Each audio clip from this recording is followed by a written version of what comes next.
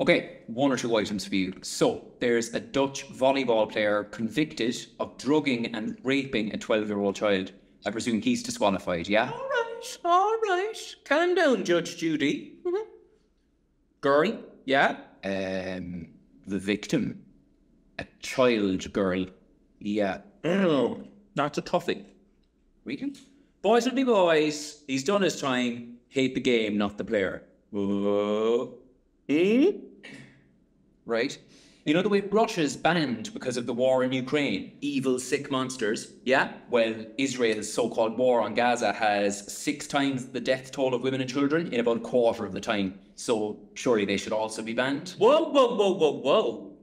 Have you seen Schindler's List? What? Yeah. How many times? Um, just once, I think. You don't have any copies of Mein Kampf flying around the house, do you? I don't. No. Listen, Pat.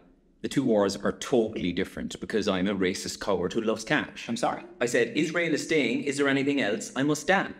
Yeah. And I'm not even sure how this got on the list, but hijabs, should they be banned? Of course, they're sick and wrong. What? Just on the French team, the black and brown countries can dress up as cartoon characters for all I care. Christ, you're so woke. Uh, good talk.